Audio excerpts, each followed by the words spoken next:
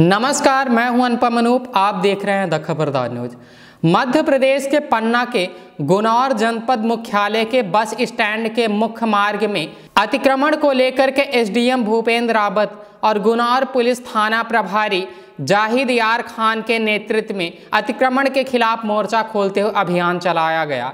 आपको बता दें कि दुकानदारों के द्वारा टीन सेड को सड़क की तरफ़ बढ़ा करके आए दिन राहगीरों के लिए दुर्घटना का खतरा दिखाई देता है। और जिसको देखते हुए जाहिद यार खान और भूपेंद्र रावत के नेतृत्व में अतिक्रमण अभियान बुलडोजर की सहायता से बढ़े हुए टीन शेडों को ढहा करके अतिक्रमण के खिलाफ कार्रवाई की गई।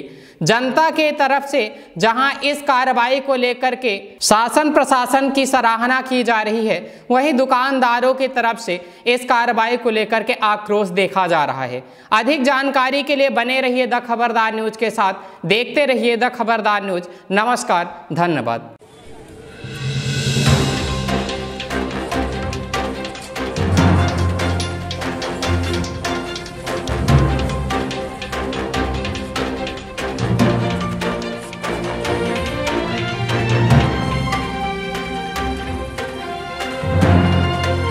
The Khabardar Hindi news channel के साथ जुड़े रहने के लिए the Khabardar Hindi news channel को लाइक करें, शेयर करें, सब्सक्राइब करें। और अगर आप ये वीडियो फेसबुक पर देख रहे हैं तो फेसबुक पेज को लाइक करें। धन्यवाद।